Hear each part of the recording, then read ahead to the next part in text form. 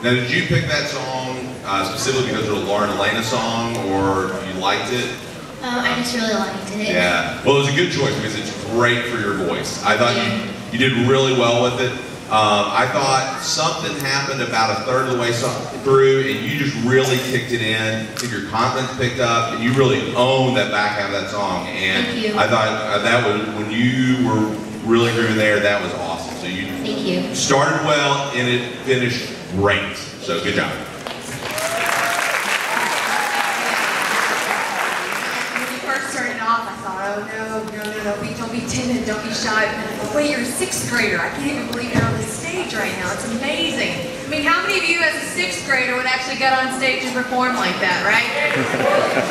and then, honestly, I mean, you're exactly right. Um, you did pick it up, you know, about a third way. It was awesome. The course was Thank so you. strong and the runs were amazing.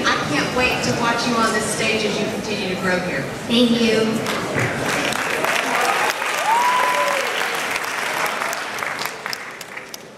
I had to, I had to look back on my program and make sure that you were in the sixth grade because your voice is so big for, for your age. Uh, I, I, that's what I was most impressed by. And as, Thank has been previously stated, you got more comfortable, you picked it up, you finished really strong, really nice.